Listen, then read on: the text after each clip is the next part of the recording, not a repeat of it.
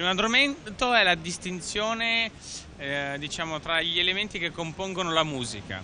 Allora, noi professionisti non parliamo mai di musica, parliamo sempre di o opere o esecuzioni o fonogrammi. Su una registrazione musicale ci sono quattro soggetti che hanno quattro diritti. L'autore che è colui che scrive il testo, la musica di un brano, proprio la musica come la immagineremmo nella melodia. L'artista che è colui che la suona, la esegue. Non è sempre la stessa persona, ci sono autori puri e anche esecutori puri.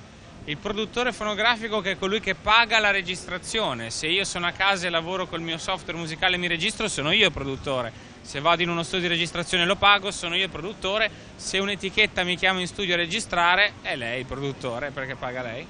E il quarto soggetto è l'editore musicale, colui che acquista i diritti sull'opera e cerca di promuoverla affinché questa generi proventi di diritto d'autore. Per cui gli autori e gli editori lavorano sull'opera, l'artista e il produttore lavorano sul fonogramma, quindi noi non parliamo mai di musica, o parliamo o di opera, diritti dell'autore, o di esecuzione, diritti dell'esecutore, o di fonogramma, diritti del produttore.